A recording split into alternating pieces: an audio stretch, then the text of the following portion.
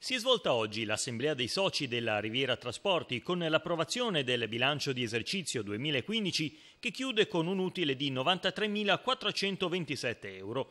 L'assemblea odierna è servita anche a fugare i dubbi sulla continuità aziendale e quindi sull'erogazione del servizio di trasporto pubblico svolto dalla società. Dubbi che avevano reso necessaria la richiesta, deliberata ieri dal Consiglio provinciale, di un attento e continuo monitoraggio della gestione. Il collegio sindacale è stato rinnovato all'insegna del risparmio, stabilendo il dimezzamento dei compensi dei suoi componenti nell'ottica di un ulteriore alleggerimento dei costi aziendali. Da parte della Regione Liguria non c'è stato alcun taglio negli stanziamenti all'RT, ma anzi la conferma delle risorse per complessivi 117 milioni di euro a livello regionale destinati alle singole aziende di trasporto pubblico locale, tra cui appunto la Riviera Trasporti rispetto allo scorso anno, ha detto l'assessore regionale ai trasporti Gianni Berrino, rispondendo in merito al buco di bilancio della Riviera Trasporti di circa 3 milioni di euro che sarebbe dovuto a presunti tagli da parte della Regione.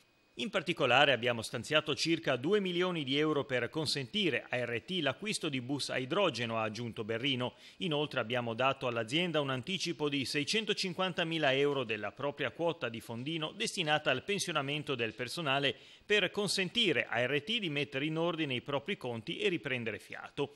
Critiche sono invece giunte dal Movimento 5 Stelle.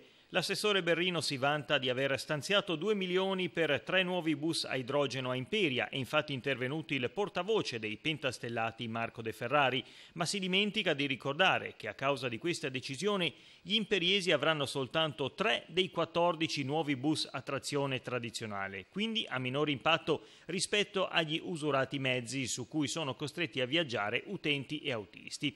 Soddisfatto si è infine invece dichiarato il presidente della provincia di Imperia Fabio Natta. Si tratta di un risultato che segna una significativa inversione di tendenza rispetto al passato, che era caratterizzata da pesanti perdite.